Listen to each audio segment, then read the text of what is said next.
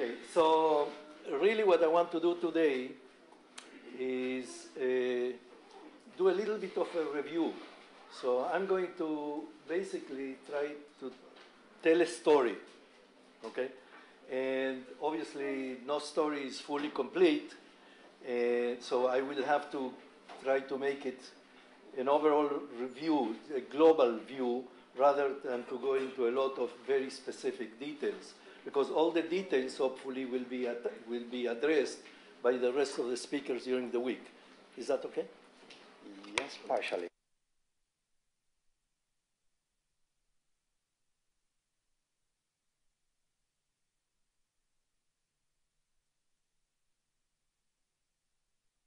Thank you very much. Anywhere else? Even uh, it has the, the, the, the to your belt if you like.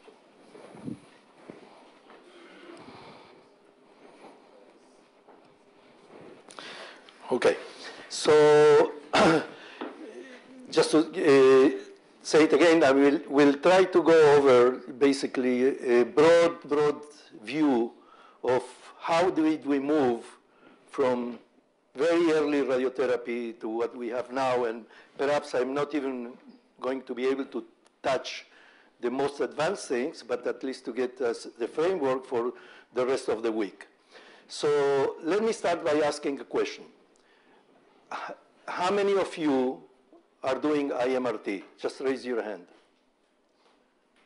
Okay, so it's about maybe 15, 20%. How many of you are you, are you doing 3D conformal therapy using you know, dose volume histograms for evaluation and so on? So it's about half. Okay, that's great. And how many of you are doing about basically 2D therapy in external beam. There is quite a few. Okay, not, not as many, but I mean quite a few. And who is not doing radiotherapy at all? There is a couple. Okay. All right, so uh, hopefully I will be discussing things that may be of interest for those that are going to be moving from 2D to 3D to IMRT. And hopefully I'm not going to bore all of you that are doing IMRT already. Okay? If you are bored, just leave and come back at the end. Okay, so let me basically um, tell you how, what did the process in radiotherapy looked very, very early on. We had a patient that was assessed. The physician decided to treat, decided what he wanted to treat, so he did some target localization, and we'll see you know, the sophistication of that. Uh, defined what the treatment was to be, calculate some treatment parameters, verify the patient position, and deliver the treatment. Okay? Uh, this is uh, an early radiotherapy in 1D. Basically, there is basically no team. The physician decided to treat a breast tumor. He has an apparatus, a very early X-ray tube, puts it on the tumor, and he has a timer on his hand so that's the way he defines the treatment. That's the dosimetry at the time. Of course, I mean, this is many years ago, uh, probably much before I was even born. But what was the prescription in not necessarily those days, but even later on, I mean, in the 40s, 50s? This is a typical chart on a patient, the, the description of a patient in a chart. So what did we have here? There was some text, and I know that you cannot read it because it's blurry. But there is some text that says that this patient needs to be treated to the femoral head. Probably some, you know, complications, some metastases and so on. And you have two drawings made by hand because the physician knows the anatomy and he draws what he knows about the anatomy. There is no x-rays. So he defines, and in this case you have a anterior, right anterior and right posterior. I don't know if you can read that. Uh, and it shows the extent of the fields. And basically, that's a simulation if you want to kind of translate it into you know, modern days. So many of you have probably seen cobalt units. Cobalt units were introduced in around the, the 1950s. And there is a number of models that were available in the market. This happens to be one that I just saw let, not even two years ago in Russia, in Moscow. It's a very interesting unit, but it's a cobalt unit, and it has some specific motions that basically were designed to do radiosurgery, if you believe it or not. Okay, but most of you probably will be familiar with a unit like this. Uh, oops, with a cobalt unit like this, more or less more modern, with a beam stopper, and the mechanism to generate the radiation is extremely simple.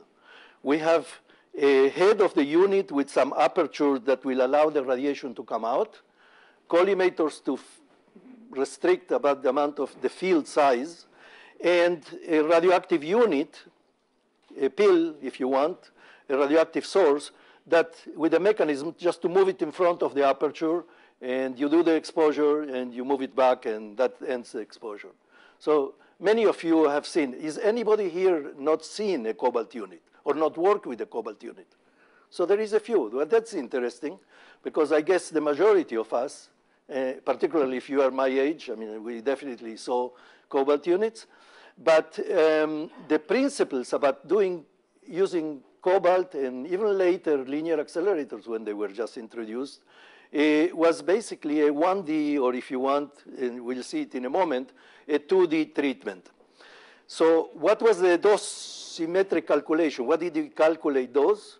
Typically, we had what we called a SSD a beam on time table. It was a table that we generated based on some measurements, but, the, but all of those were completely related to just one number. And that number is this number here, the output of the unit. And this is from 1969. That was, I found it in the records in my hospital when I became chair of, uh, chief of physics in 1985 and it was in the records. And this is an interesting table, and I kept it because it was signed by Lillian Jacobson. Lillian Jacobson was a medical physicist in New York, one of the pioneer women in radiation therapy. And by the time I was there, she was you know, long retired. But if you see here, this is a table for 80 centimeter SSD treatment with a single field, just to calculate the beam on time. How much time do we need to keep the beam on to give a specific amount of radiation?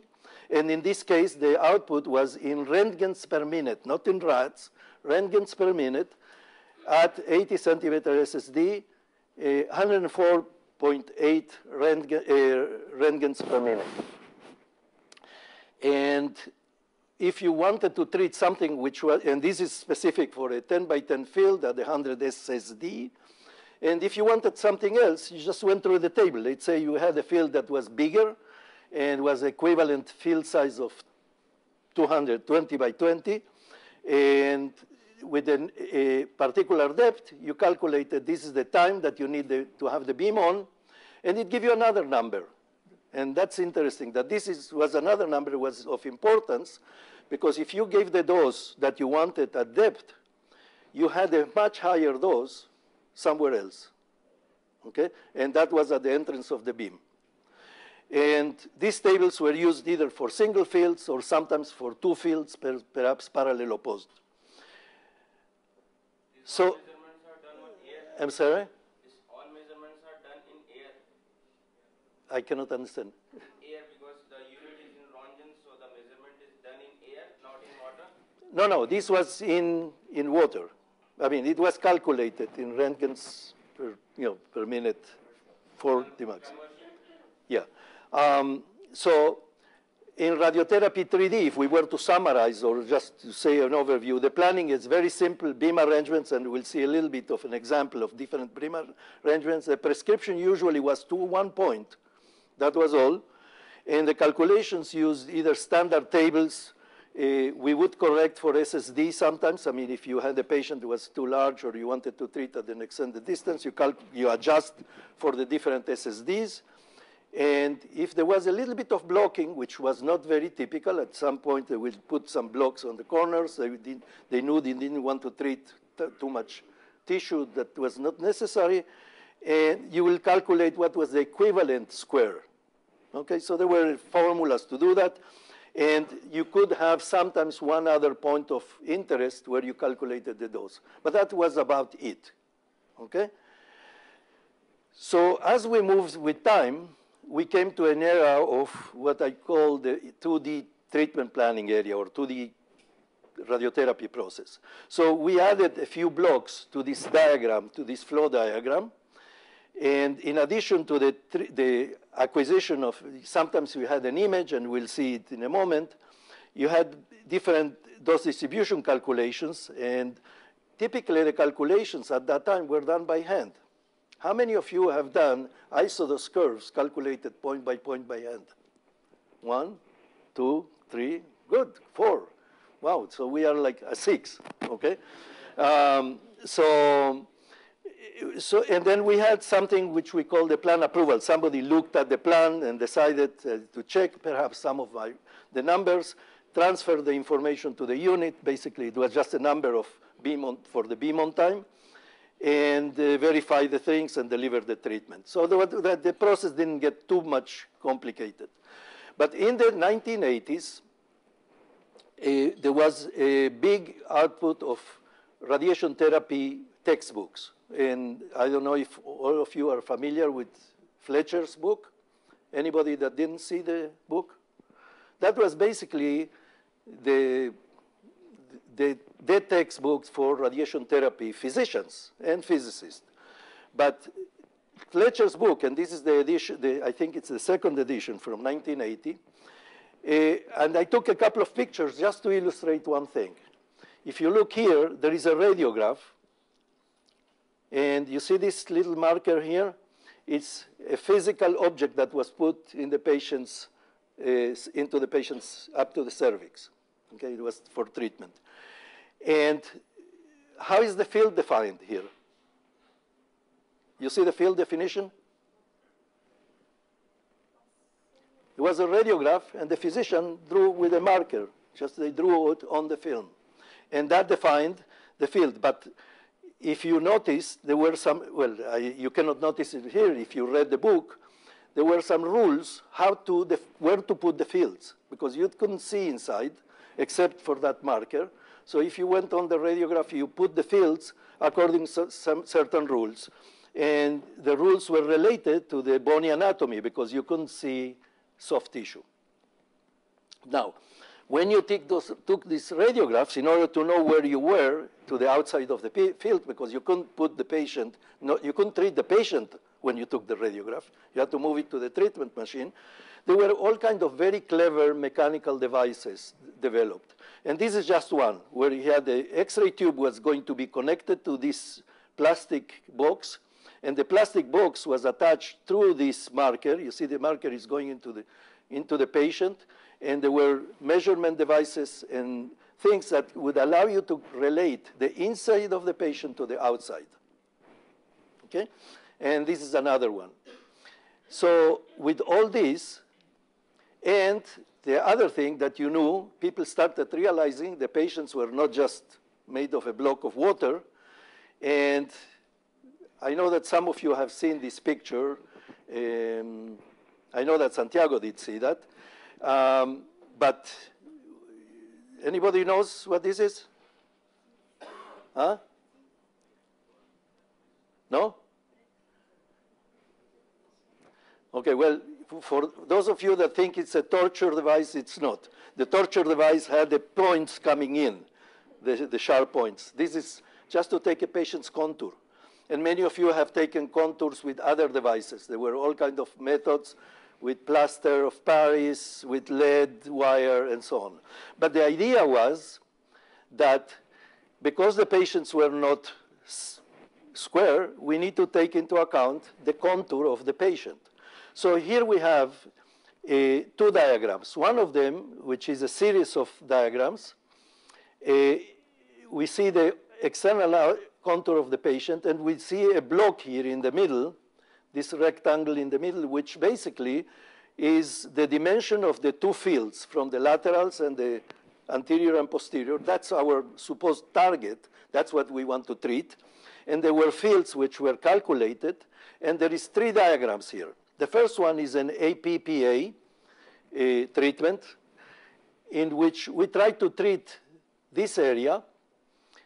And in order to treat this area with APPA, we see that uh, the isodoses, and this was to treat this with uh, about 5,000 uh, rads or centigray the, uh, nowadays. Uh, it had 15, 5,500, which means 10% more here, and up to 60, 5,600 at some point. So basically what this demonstrates that with this type of treatments, uh, we couldn't really avoid over-treating normal tissue. And in order to compensate for that, new developments came along. One of them is to increase the energy of the beams with higher energy linear accelerators. By then they were available, or a Betatron, in this case a 25 MeV Betatron. And you can see that even with the APPA, we improved the situation much better because now the 5000, it's covering basically the box that we want to treat. But still, there is quite a significant dose outside. With the advent of isocentric machines that can rotate around the patient, it was much easier to keep the patient in place and irradiate from different directions. Typically, it was from very conventional directions, laterals, APPA, not, nothing too sophisticated. And with that, we came and uh, made a big step forward because now the 5,000 not only enclosed this, but outside of the 5,000, we went down to less than 40%, in this case, 2,000 isodose line. Okay? So we made some advances in that direction, and then with the advent of some very primitive computerized treatment plans, we were able to calculate lines of isodoses on a very complex anatomy like this one. That's, uh, the, that's a nasopharynx, I believe. And we were able to take into account wedges or other beam modifiers. Now, uh, one of the things that this allows us to, if we were to summarize what this step allowed us to do, is that we started still keeping in mind that the target is defined in relation to uh, the anatomic landmarks, the bony, bony anatomy essentially. But the extent of the field was still knowledge by the anatomy and the disease pathways because you couldn't see every detail of the tissue and the physicians needed to rely on knowing how diseases progressed. How did they know how the diseases progressed? Many times from postmortems of, or, or surgery after the fact. So there was no way to know. So they had some rules, and if you were to treat something, you needed to treat the, the certain lymph node chains.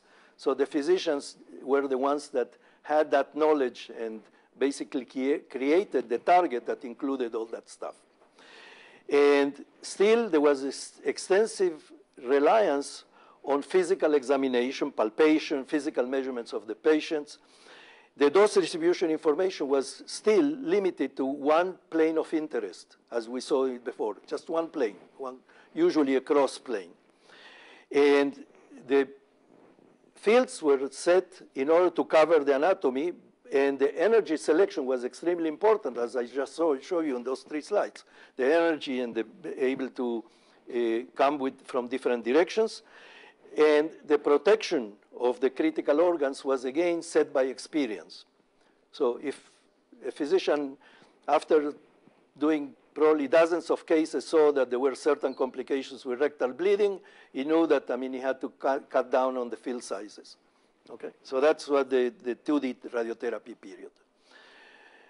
So in the process, basically, we added a couple of more things. I mean, we just spoke about this and the measurements and contours and the beam arrangements and the dose calculations, obviously all the rest. And we started seeing much more use of blocking. And the blocking sometimes was manual or was custom uh, made. And we have all the rest of the, of the process. Many of you have seen pictures of patients with tattoos. Well, what was the idea of a tattoo? we wanted to know where to position the patient into the treatment beam. Usually we had a crosser projecting to, the, to the patient that was your rel- reference to where your beam was going to be, and you needed to know the outside to the inside, the relation. And that was the purpose of the tattoos. The tattoos were, sorry, the tattoos were done on um, under fluoro usually, or some other method that you could relay them. With the introduction of simulators, radi- uh, radiographic simulators, fluoroscopic simulators, uh, we still had to rely on palpation, the use of planar images, but we still didn't have information of actual volumes because usually X-ray units didn't have the capa capacity to give you the contrast for soft tissues. Except in some cases, for instance, if the lung, if you could see clearly a mass in the lung, you could perhaps tell that. And, but we still were keeping the rules to the disease sites as the way to decide on what the field size should be. And the blocking was not done in order to conform the dose distribution to the target. It was mostly driven by avoiding complications. So that was the main, uh, uh, the main uh, purpose of blocking and shaping fields. Now, I hope I can keep a secret here. I mean, are you all promising not to divulge this, okay? All right? Can I have all your promise? Okay. Well, uh, basically, we never treated 2D patients with radiation therapy. I mean, we did all this stuff for many years. But I can tell you, all our patients were really three-dimensional. All our patients were three-dimensional.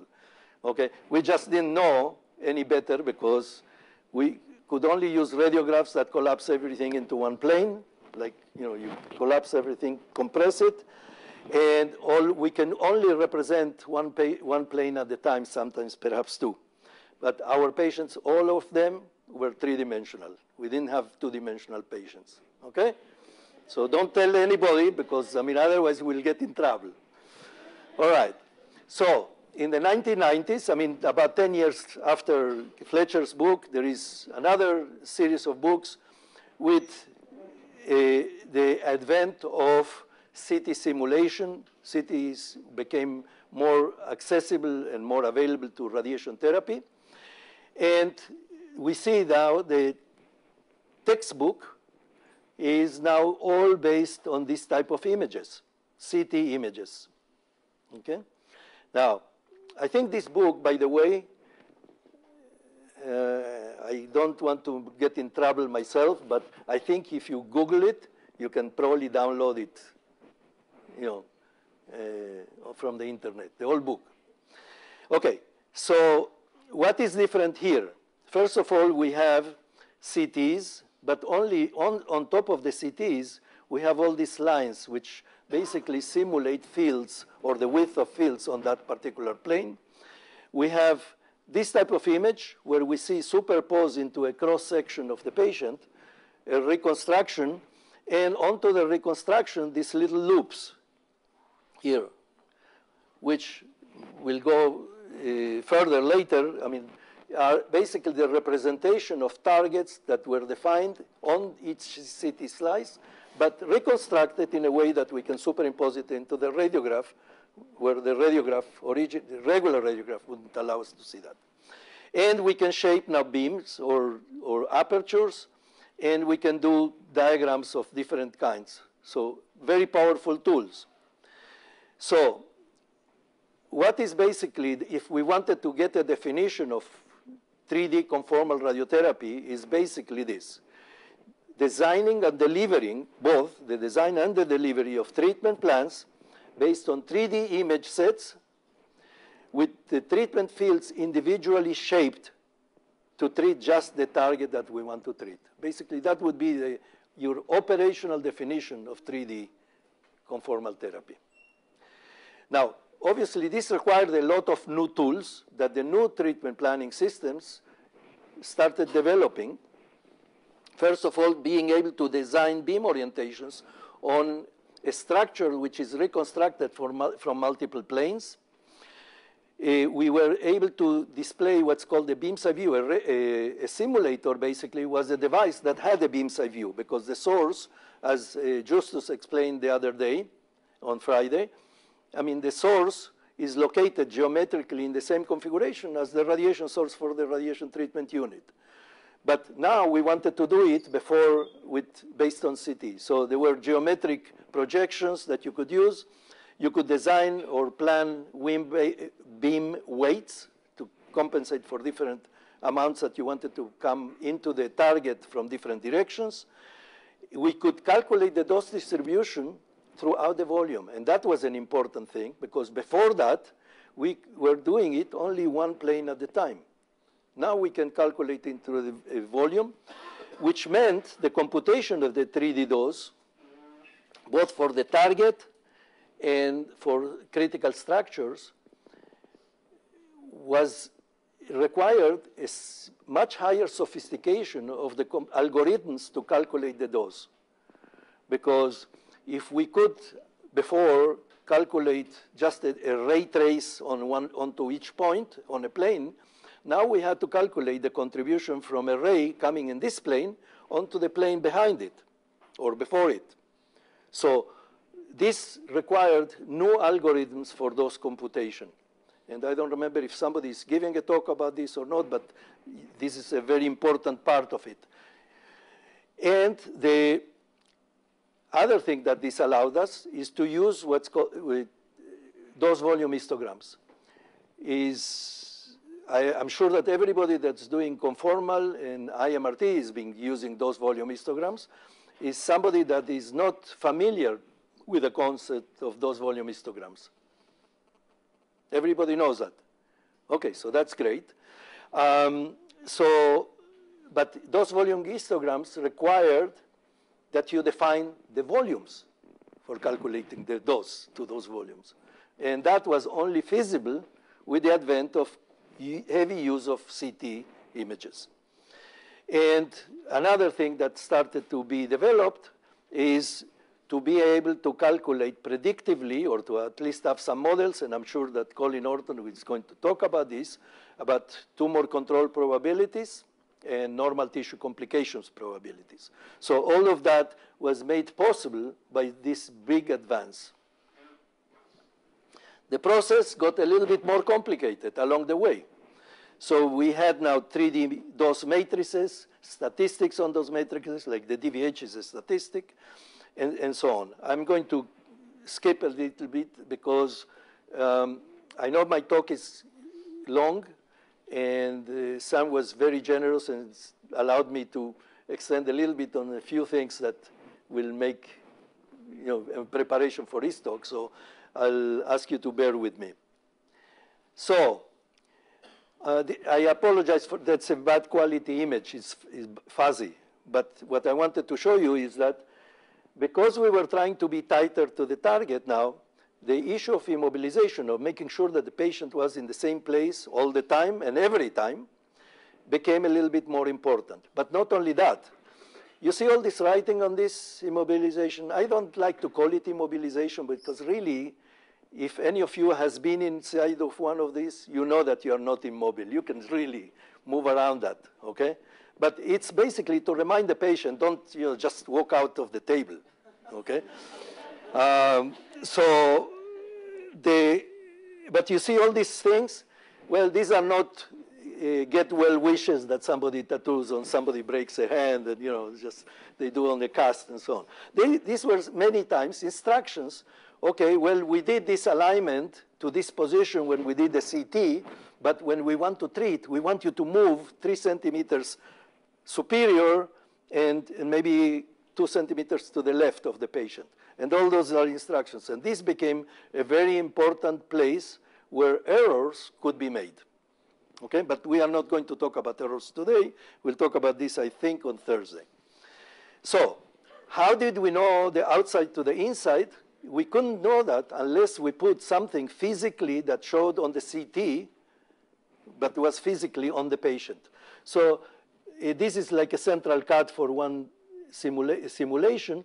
You see these little dots here, basically are high Z BBs or some other material that could that you could relate any anatomy inside the patient to that point that was tattooed on the patient outside because otherwise we cannot do the CTs every time we treat.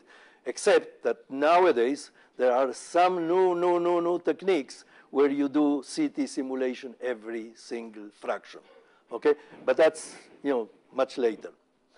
So if we went to, um, so we had those reference marks, and basically the other thing that we needed to do is in order to define what the target is, we needed to be a little bit more sophisticated and say, well, what, how, what are these things that go into the thinking process of the physician in order to come up from what he sees to what he wants to treat.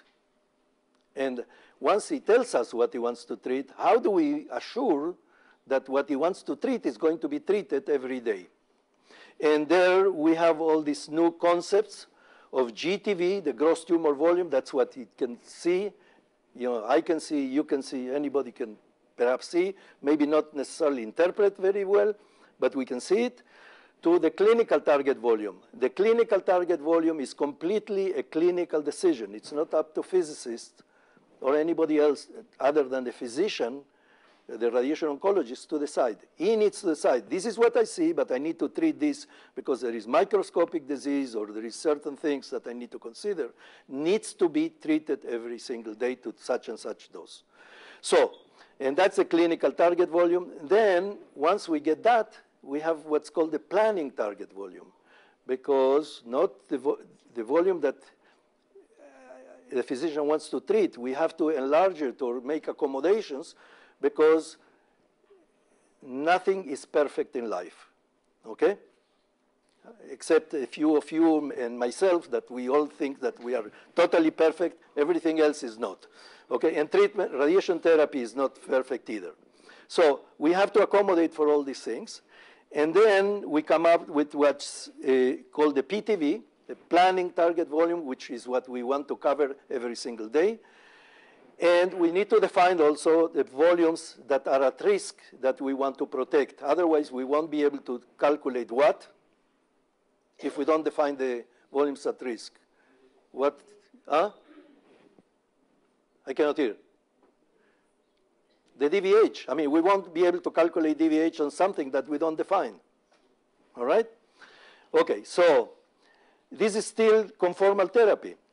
And just to get an idea about how this works in, in, in, in the process, why did we need to go all through all these steps is because before we were setting up fields which were very simplistic, like blocks or so on, or squares, rectangles.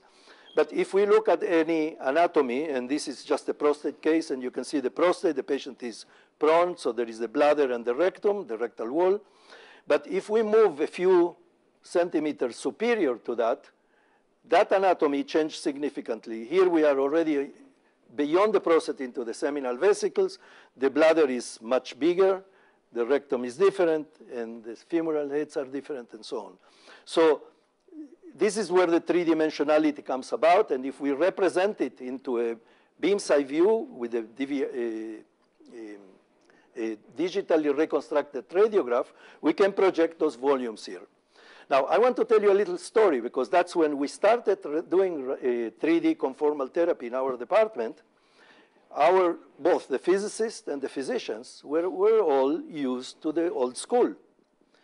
So one of the first things that we did is we, take, we took this digitally reconstructed radiograph, and we had very experienced radiation oncologists, and some of them were even radiologists, because at the time, I don't know in many of your, the countries that you work in, many of the old school were trained in radiology and radiation oncology, both. So we took this uh, digitally reconstructed radiograph. This is the right view from that, lateral. And we say, I didn't show th these things. Okay, we didn't show this. And we didn't show the, uh, and we, we told the physician, well, how would you treat this? Well, what, can you just draw the fields? Okay, uh, for those of you that remember, I mean, for the prostate, and the treatment was pres prescribed to 65 gray to the isocenter, and this is a small prostate, but we didn't show that, so we just showed the anatomy.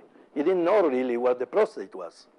So how did it, did it go? It takes a 10 by 10 for the lateral. This is a 10 by 10 field. Takes it two centimeters posterior to the symphysis pubis. Okay, the center, the isocenter is at the, at the, at, the same level, at, at, that level, and and this is one of the fields. So you went through all these fields, drew the fields, and say, okay, well, let's now calculate the dose distribution from your fields. We didn't show him this, the the actually the the volumes. Okay, he only saw the radiographs because that's what what he would have done before that, correct? So we show the dose distribution, we project it, calculate it, show it in three in in a isometric display, and we're showing well this is it here. This is the prostate. These are the lines that describe the process that he, he delineated. And this is the cloud of the 65 gray that you prescribed. Okay? What would you say? He says, my God, we missed it. We are missing the completely. All right? We are treating outside. So I say, okay, don't worry, okay? Because that's not the end of the, the complete story. This is 65 gray. If we just take that cloud, but take it to 63 gray, which is just 3% below the prescription, okay, it's not so bad. Look, see? Nice, you covered everything. Except that you treated all this that you didn't need to treat. All right? So, and we did that for not just a small prostate, but for a large prostate. Okay, in the past, before we had CT, we wouldn't know the difference. So for a large prostate, the 63 gray, well, it was a little better, but still, we missed part of it, and we still were treating all this of the rectum. But this was what used to be the standard of practice in radiation therapy for prostate treatment. There was no better way to do it. So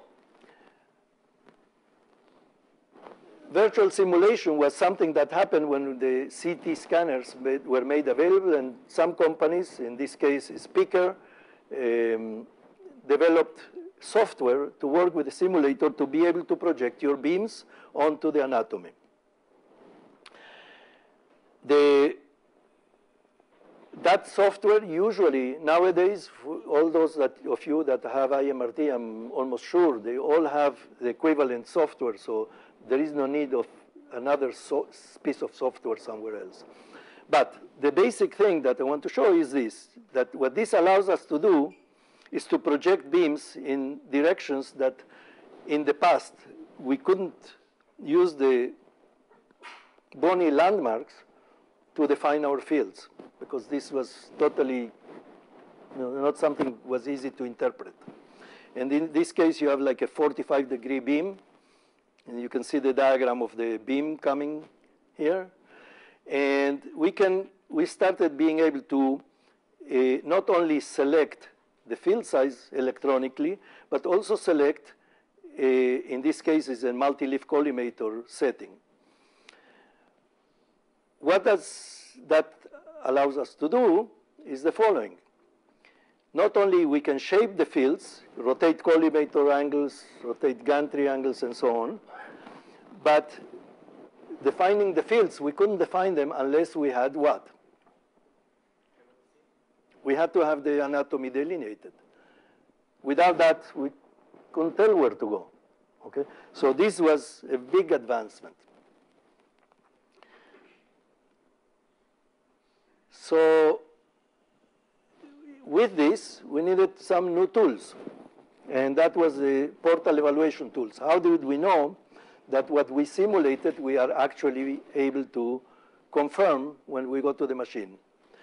And obviously the DRRs, the digitally reconstructed radiographs, were the central element. Instead of your regular radiograph, you have a digital radiograph. And port verifications films were still being used at the time. How many of you take port films with film? Very few. That's it? Okay, so it's about eight or 10. How many of you take port films with uh, onboard imagers or, or, or, digital, you know, EPIDs? electronic portal imaging. So that's more now. Okay, so we still have people that are taking film, and, but when we started, uh, uh obviously, we were just taking films. And now you can take them with EPIDs that are integrated into the head of the machine, both for diagnostic quality X-rays and high energy beams. And, but you need to be able to compare you know, one image from one system to another image. The digitally reconstructed radiograph came from the, C the CT scanner. So those tools are an important component of being able to verify that what you plan to do is what you are going to be doing when the patient is under going to be treated. So we could get conformal plans, in this case, and I want to, to point to your, this number, 77.4 gray, to the PTV. The first one that I showed when we just started conformal, 65 to the isocenter, 63 to the periphery. Now we are going to 77.4, and that was just when we started. And I'll show you why we were doing this. This is now a conformal field. Now you can conform it with blocks or you can conform with MLC. There is no need to have an MLC, an absolute need to do 3D conformal therapy unless you have an MLC. It makes it much simpler, much, much easier, but it's not a must. As a matter of fact, we started doing conformal 3D with blocks. Okay? So I want to mention that because some people may think unless you have an MLC, you cannot start doing some conformal. And with that, we were able to do things which were much tighter distributed around the target. Okay? And with doses much higher. And that didn't make a difference whether we were treating a small volume or a larger volume.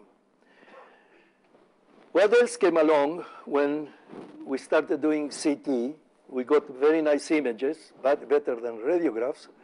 But there was also a need to integrate other information. And this is an example. If this is a patient which we scanned, and I'm not a radiation oncologist, I'm not a, radio, a diagnostic radiologist. If somebody shows me, you know, tells me what's wrong with this patient, I would say probably something around. This looks weird. This much different than this.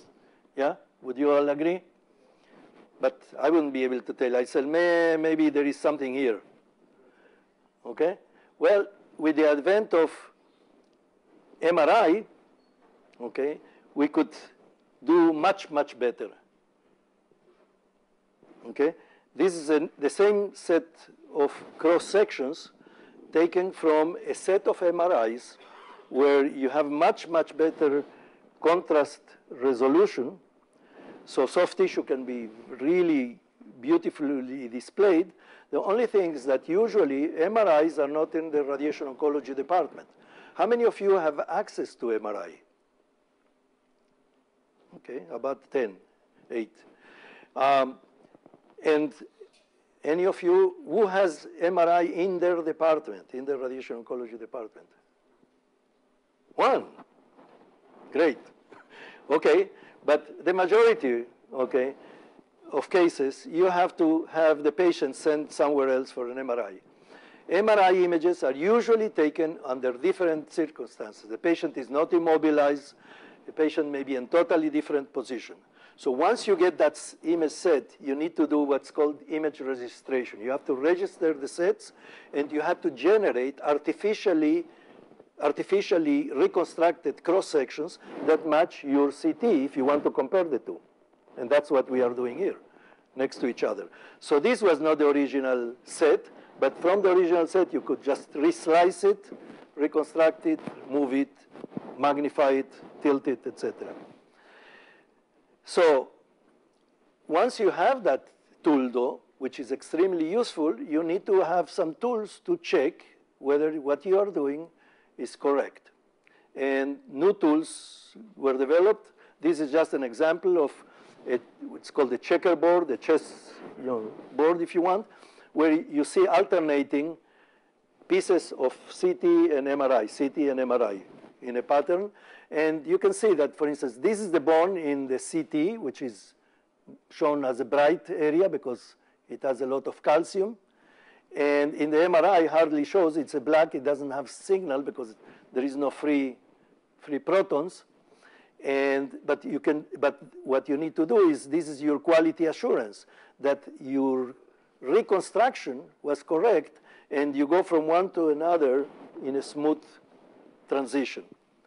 And you can see this here as, as well. Okay? This is black, white. This becomes black in the MR. Okay? So we have those tools. There is many new tools now available, which is ability to project the beams onto the patient's skin or the external anatomy. In this case, the patient is also in an immobilization mask, but you can project the fields for each one of those directions. Not only that, uh, you have to now have a new component because now you have immobilization devices and you have to know how to treat them dosimetrically. So there is a reference at the bottom of the screen there that I encourage you to look at. It's an AAPM task report on immobilization devices on their effect on beam dosimetry, including, what's that? Three minutes. Uh, I borrowed a few minutes from Sam. He agreed gently, gently to do that. Okay? so, uh, um, so I would encourage you to download. All of these are free. I'll just give you the reference. Okay. What the other thing is we can do now is do non-coplanar beams. Before we were limited to the simulator. You know, we could sometimes tilt the couch. It was very complex and difficult to tell what you were doing. And the most important thing is like you can treat now with beams that come from here. Now, what's the problem with that? Any problem with that? Huh? The dose to the body, good. Okay? You need to keep in mind, although this ends the body here because that's where they stop the last slice in the head, but the patient continues. So if we were to do something like that, we must make sure that this beam doesn't go exit through the body, and we may want to tilt the head so it exits in front of the body. Okay, so all these things are new tools that we are aware, but they are not perfect. So you need to understand a little more than just what you see on the images. Okay, so I'm going to skip all this, but one important thing, and this is what probably for me was one of the big things about 3D conformal. Any of you treat craniospinal irradiation of children? Quite a few of you. What do we do? We treat laterals, we treat the posterior spine field, or sometimes two if it's too long, and so on. Well, and physicians knew from past complications that they needed to keep a proper gap in the junction, correct? Well, how do, before we had CT, we couldn't know exactly the dose distribution around that gap. And here we have a case where I can project everything on the patient and I say this is the gap that we created, but there is a serious underdose there. And we don't want that either because that is basically a source of a recurrence. Okay? So by doing 3D conformal, we are able to do all these improvements and go from here to this where we have a much, it's still safe, and we can take other steps to make it safe so there is no accidental overlap, but we can basically treat it in a more reliable way. So I'm not going to go through this because you'll have all, you have all these presentations in your package, I believe. Renato, when they, they are going to get all this? Yes, they will be uploaded on the website. Okay. All right. So I'm not going to recite this. You can read it yourself. But basically, this is essential use of CT information for 3D. And basically, the DVH is one of the main tools that now we must use for plan evaluation. I'm not going to go into that. That would be a separate lecture. But the main importance of this development of the DVH is that now we started accumulating gradually information about the actual doses to sensitive organs. And not only to the organs, but also to parts of the organs. Now, we are far from being able to have a complete prescription, what an organ tolerance is in terms of partial dose, and particularly when the, the dose is fractionated in different ways. But that would not have been possible without the development of 3D conformal with DVHs. Okay? We wouldn't even have the information available. So, um, this is just to illustrate. I mean, these are two DVHs for the dose escalation on that prostate case. One was prescribed to 6,500, 65 uh, gray, but it was to the isocenter.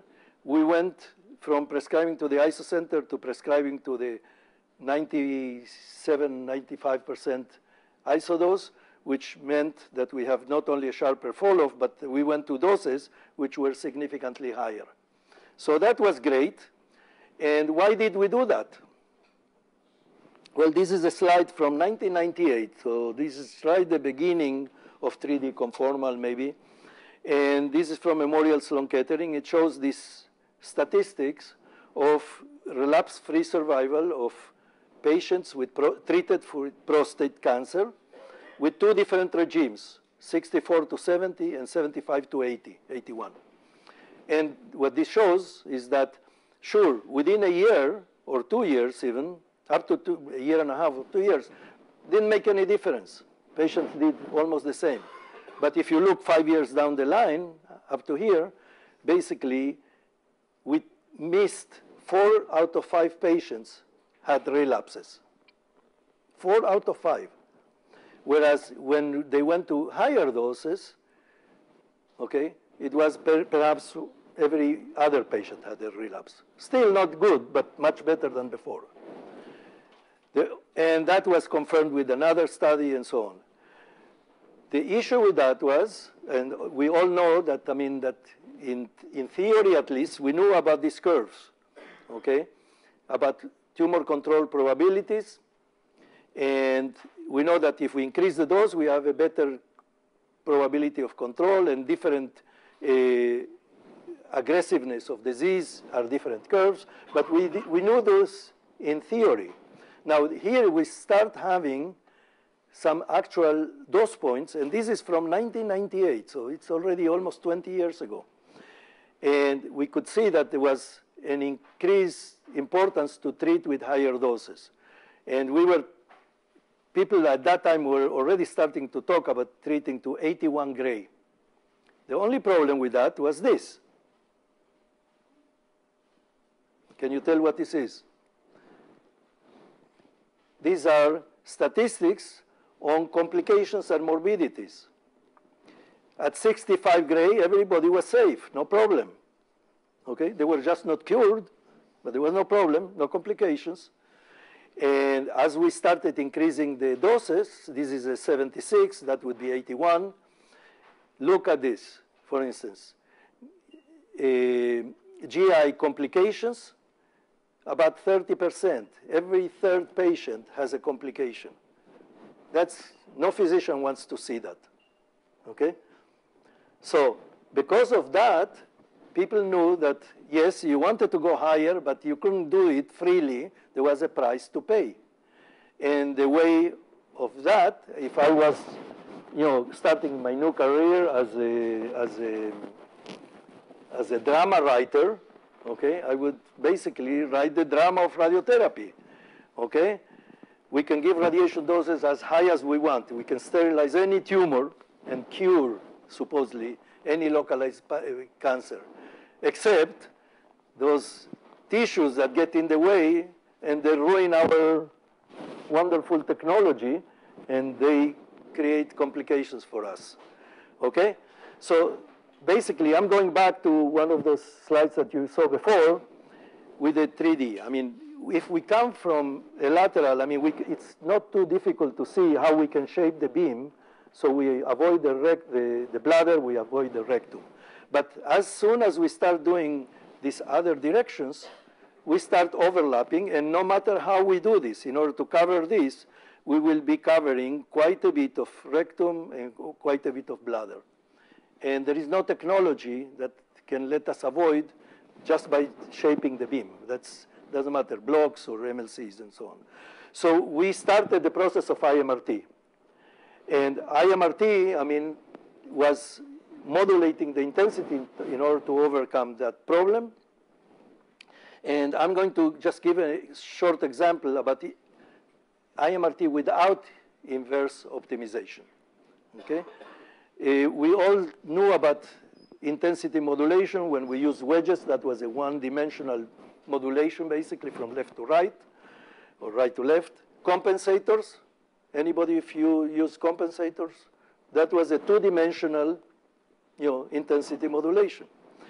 Cone beams, people went to cone beam. We treated like 4,500 and then went down for another 2,000 to a smaller field.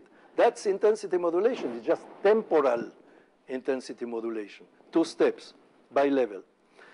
Then there were dynamic ways. Instead of wedges, multi, uh, dynamic wedges, independent jaws, we made with independent jaws, the multi-leaf and the slit field. I don't go into detail, but I just want to show you what many tend to call this poor man's IMRT. Okay, this is a case for a, a breast, and that's a place where this is very easy to implement. I'm just going to show an example. Uh, typically, if you just come with the tangents, you have a hotspot here because there is much less tissue in this in, uh, at, at, at the apex of the breast. So what do we typically used to do is put wedges. But the wedges are one-dimensional, so they only compensate in this direction, from here to here. But they cannot do anything else, and they cannot compensate in the superior-inferior direction. So one way to do that is you start with two tangents without wedges at all, and you look at your dose, isodose distribution. So from a cross section, you will see these hot spots up to 15 or 20% hot spots that are not acceptable. And if you look at that from the beam's eye view direction, this is our medial border of the field, that's the apex, and you project the dose distribution on that, but you just project the hotspot, in this case, the 115% hotspot. You generate like a, a, a, volume of those, and you block that, sorry, you block that with your MLC. You see, this is blocked now. So we created a second field now, which is just this part. And you do it again now for the 110%. You move the leaves again and you create another field which is much smaller, much more posterior, and the last one, and you can do that. And you can achieve a very nice distribution by just weighing how much beam you give onto each of these four segments of the same field. So it's the same field geometrically, except that it's blocked progressively, and obviously the majority of the field will be given, the majority of monitor units with the first one, which was the open, but you don't give it all of it, and you see the relative weight of that was only 86%, and you do it in three or four steps, and you can get pretty nice dose distribution. The advantage of that is that you can also compensate in this direction. Okay? So that's what people call forward planning or uh, poor man's IMRT. So IMRT is really conformal therapy except that we have to add a modulation to the beam. So that was just a very simple example, but typically we, need, we will go to inverse optimization. Inverse optimization is basically, instead of us using the judgment after we do a dose calculation to say, well, this is acceptable, let's move this, let's change that, we say, this is what we want to achieve, and we'll give all that information to a black box, a computer, and let them do the job for us. We can go take coffee, come back in an hour. It's all done for us. Except that computers don't know radiotherapy. They don't. They just don't know. They only understand numbers. Okay?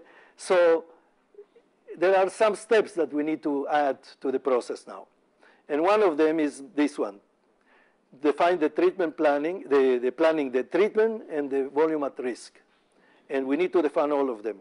Now, all of you must have read ICRU 50 and ICRU 52. Anybody didn't? Okay, those that are lying, just raise your hand. Okay, all right. So you, if, if you didn't, you should. okay, if you didn't, you should. It's free. Uh, I don't know if it's freely available, but the information is available in many places. So, but basically, this is a cartoon. If I want to treat this, the GTV, which is what we see, and this is next to something else, which is the organ in blue, or this other organ in blue, uh, the physician will tell me, well, I don't want to treat this, I want the CTV. This is what the clinical target should be. And then by then we add a margin because we say, well, we are not perfect, so we added this margin. And we end up actually designing beams, and we end up treating something that looks like this, this pink area.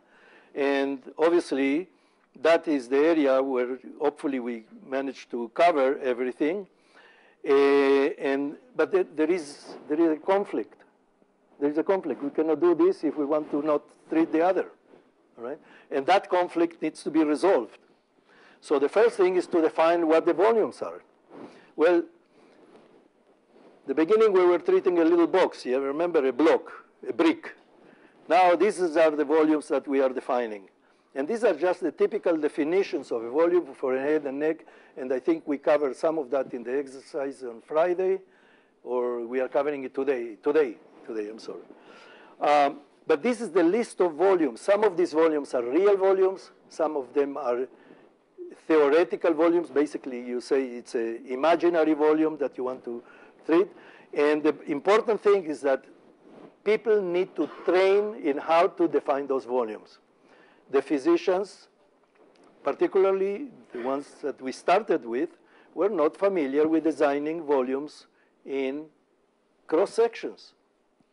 So there is a full thing of training that needs to take place for you to do that, for you and your physicians, basically, not just you. Um, the one thing I want to warn you, and this is typical from what happened at the beginning. This is a volume, and we expanded it, and you look at this. I've never seen an anatomic volume that looks like that, a scallop thing. Typically in the anatomy, things are much smoother. So and the reason is that when you, when you delineate in one cross section, you have this. So you see, looks, this is pretty smooth, everything is nice. But you go to the next one, you forgot what this was, okay, and you put it in the thing. When you put it in the stack and you show it, it's obvious that you know, needs to be adjusted. But these are just the volumes, and you have to define not only the target, the GTV, in this case, but all the rest of the things that you are interested in knowing those about. And I'm not going to talk about this because you can read a little bit about the uncertainties, but the, you have two different categories of extractions or extrapolations of the volumes that you started from. Um, I'm just going to say one thing, that there is internal margins that are added to that volume. Some of those margins you have no control. That's part of the way the body is built. But some of the margins are due to uncertainties in the localization. And then we'll go back to that later, okay? So the uncertainties in localization or these setup margins, this is something that you must make a big effort to reduce because otherwise you keep expanding those volumes and there is a cost a physical medical cost to the patient by doing this. So now you have to define what are the prescriptions goals. What is your prescription?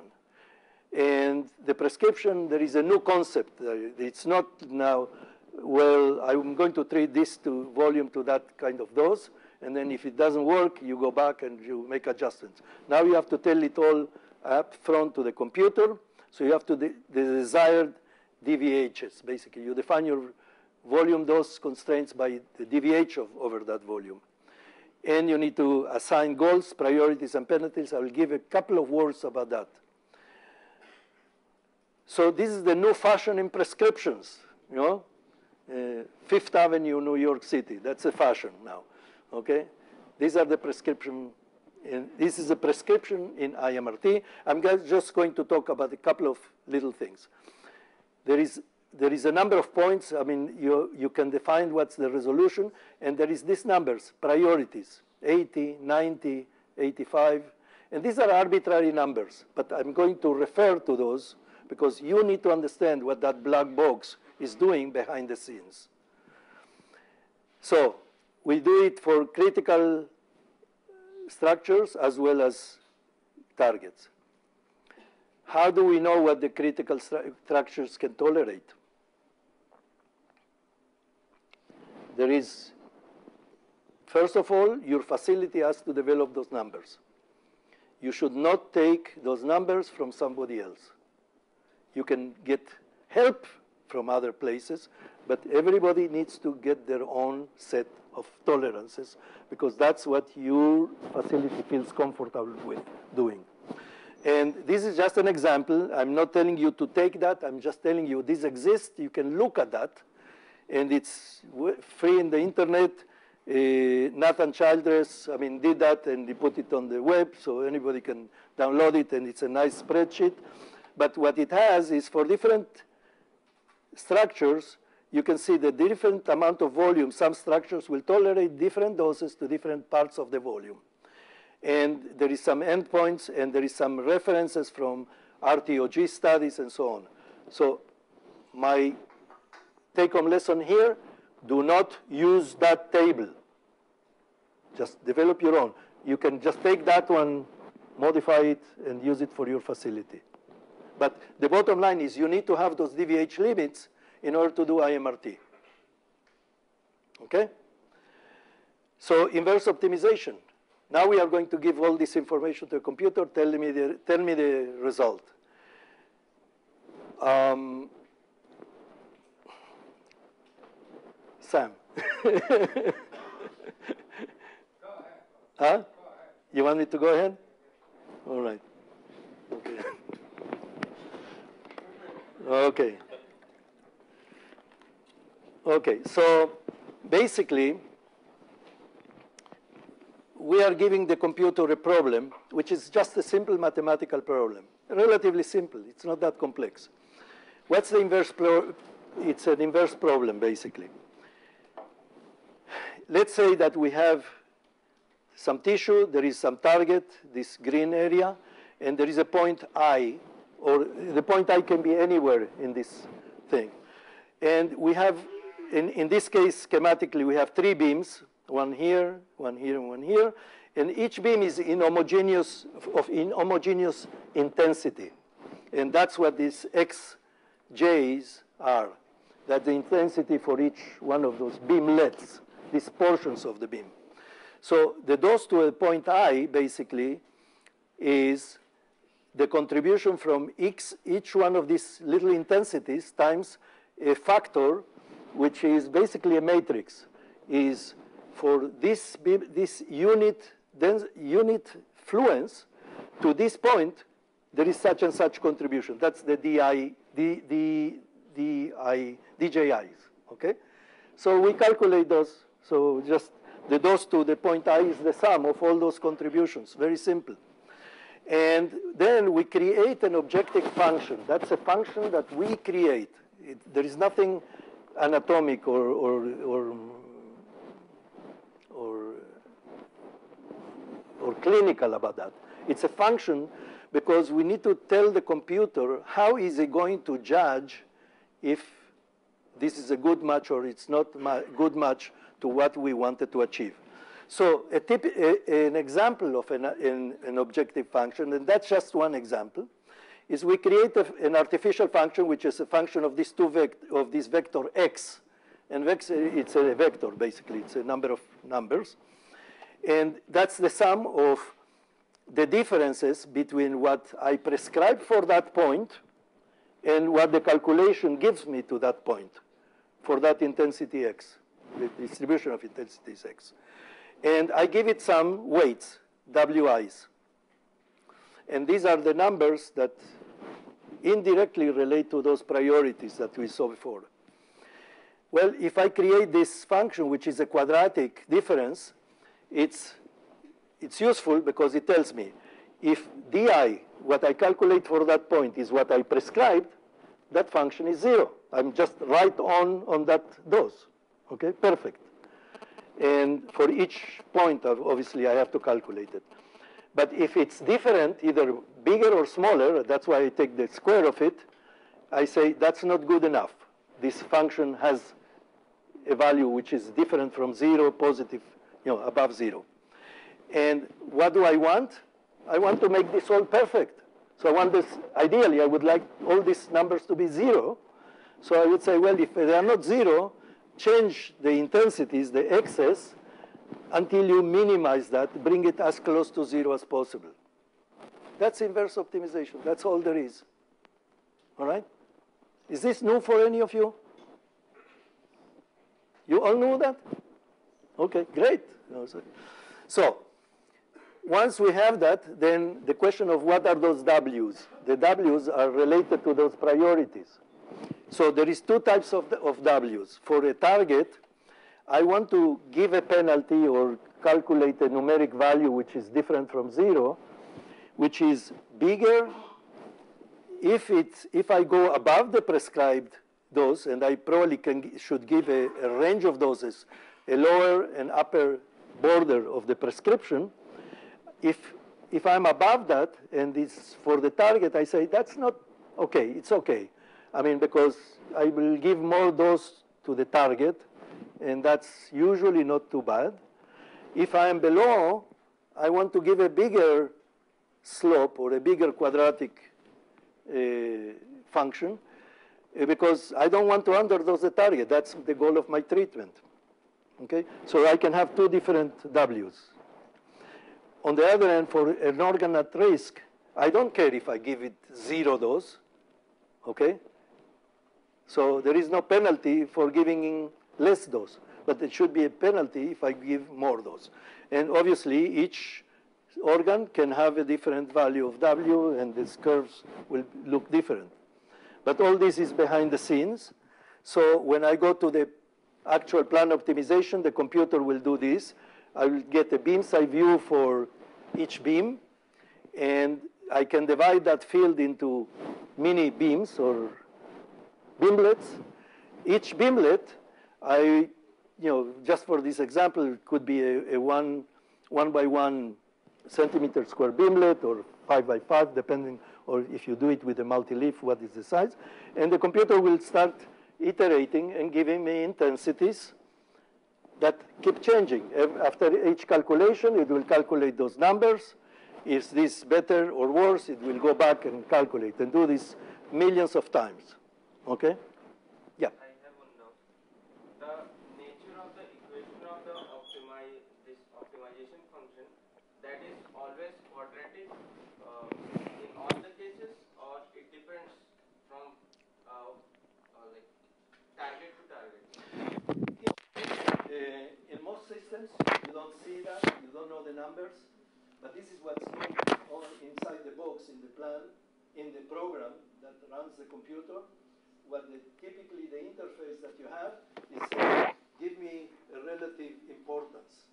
And that's why it was, I put on that uh, prescription, the big prescription table, the importance was related to those W's. If something is really, you want to give it very tight, big importance value, okay? But these are all usually relative numbers. I dropped it. So really hard. ah.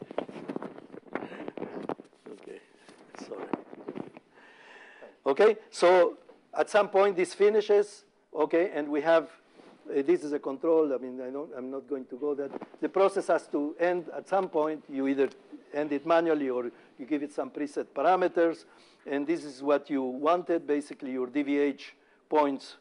You could select a number of points. This is from a Varian system, but uh, other systems have similar things. And this actual calculated DVHs will keep updating as the, the, the system progresses, and you end up with a distribution, the desired distribution of fluence that you want to use. something like this. For a prostate, a pr prostate, a, a posterior field, this is the shadow of the rectum in the middle, and these are the two sides of the prostate probably going on the sides of the thing. So this is a typical, just a, an example of a dose distribution. This is in two dimensions. But how do we create that? Uh, how do we create that? Let's just take one slice. So we want, let's say, a distribution which looks like this of intensity calculated by the optimization program. How do we actually do that? There are numerous ways of implementing this. Just, this is just one example. Let's say that this is along the path of one pair of leaves, left and right, okay? So we first of all divide this in 10 segments, let's say, 10, 10 intensity levels.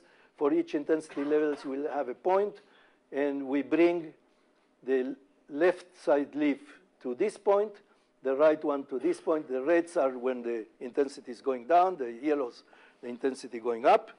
And we deliver a tenth of the intensity, or we calculate the, the tenth of intensity, and we move to the next one, and another 10, and another 10, until we get to the last point of the going down. At that point, this will leaf will jump to the other side, and we continue doing it. We just build this 10% at a time and increase that, and we are done, okay? This can be delivered with MLCs, either sliding window, step and shoot. I'm, I'm sure you'll hear about this plenty. You need to review the plan because that was a theoretical intensity delivered. Now that we, and because that has to be done in order to make the algorithm move fast, this is not the actual fluence going to be delivered because the actual fluence has to take into account that there is leakage between the leaves, there is there is a different intensity along the tip of the leaves, the distribution, and so on. So all these calculations need to be repeated, and most of the systems will incorporate that at the last step. Um, so the first thing is, how do we know that what we deliver is right? The first time that we are going to deliver. So we need to associate this DMLC or, or files for the motion of the leaves. And we need to verify that each, the, each at the start of the beam, when we were setting the patients, what did we do in order to, to know that the patient was treated correctly? Let's say we had the shapes filled. I mean, many times they tattooed or they marked the patient on the skin. We went to put the field, the field size with the light field, looked at the patient, we walked out of the room and turned the beam. Okay? Now it's a little more complicated because there is no one shape. Okay?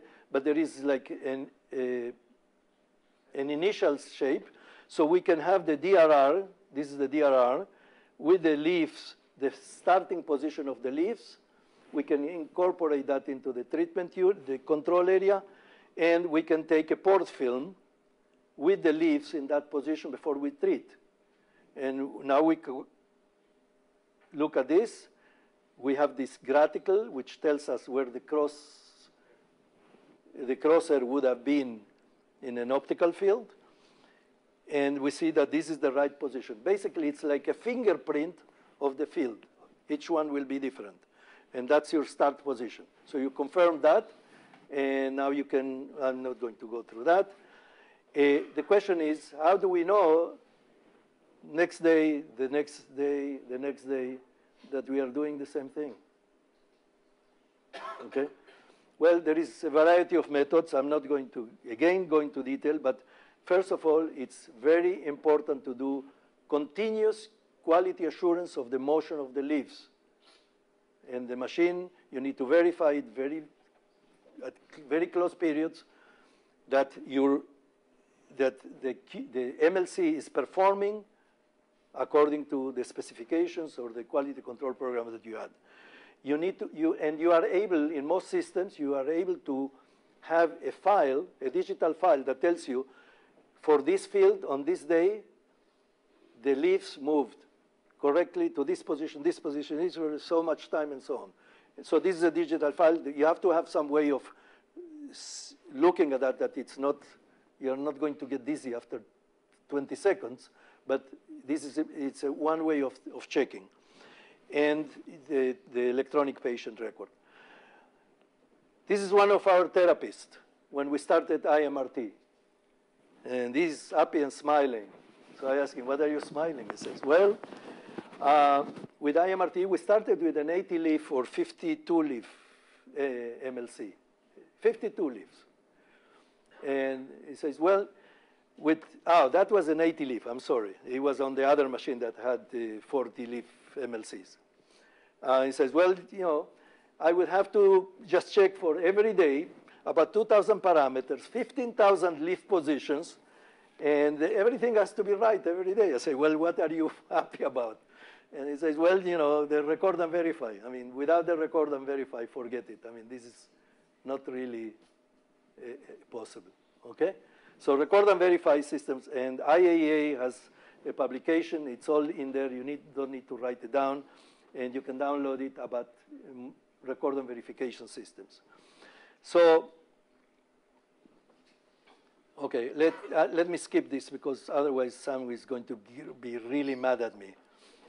Okay, I'm not going to talk about this. Um, so basically, what's the challenge here? Everything looks so good, but the challenge is that the better we can fix the target or know where the target is and deliver the dose, uh, we will be able to spare the dose to critical structures. However, the tighter the dose distribution we make, the better we must know where the target is at all times. Because otherwise, we will just get the opposite result. We'll get a very tight distribution and miss the, miss the tumor, or hit a sensitive structure with it. So uh, there is plenty of material. The AAPM has published reports. This is one of them. Uh, you should be able to download it for free. The IAEA has published a very, very nice document, which is the transition from 2D to 3D and to IMRT. I strongly encourage you to look at this table. Table one is to classify conformal therapy, what you are doing in your department. Which level are you? Level one, level two, level three. And this is conformal therapy.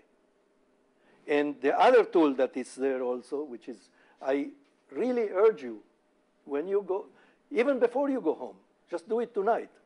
Okay? Look at Appendix A. It's about 50, 50 questions and, and 12 more questions for IMRT. 50 questions for 3D. Are you doing A, B, C, D, E? Are you doing it? If you're not doing it, it's not a shame. Just this is something that you need to move along. This is what you need to do. That's your to-do list. But unless you do that and you go through all this list, you probably may be missing some things. So if you are going to move along this chain, 2D to 3D to IMRT, do this exercise, look at the table, make it, you know, write it for your institution, for your situation, and then do the self-assessment questionnaire, which is in the Appendix A. Uh, I'm going to give you this, which is, I call it the reference of references. And this is a colleague, Jake Van Dyk. Many of you probably have heard him or know about him.